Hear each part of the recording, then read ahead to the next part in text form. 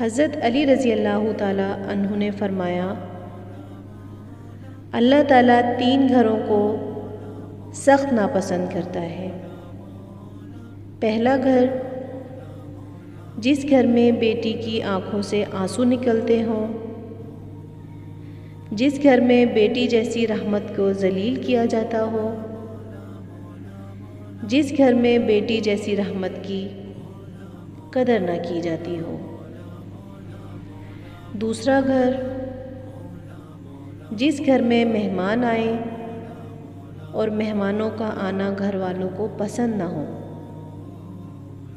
उस घर को अल्लाह ताला गज़ब की निगाह से देखता है और उन घर वालों को अल्लाह ताला पसंद नहीं करता। तीसरा घर। जिस घर में बूढ़े वालदेन परेशान हों और वालदेन को दुख मिलते हों, दर्द मिलते हों। तरह तरह की मुसीबतों में मुबतला हों। उस घर को अल्लाह ताला पसंद नहीं करता।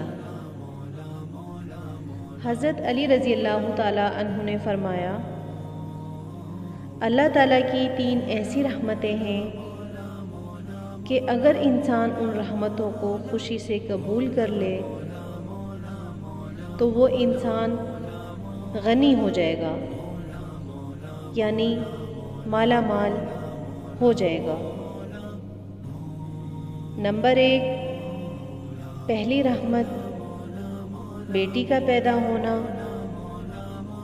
अगर इंसान इस रहमत को खुशी से कबूल कर ले तो वो गनी हो जाएगा।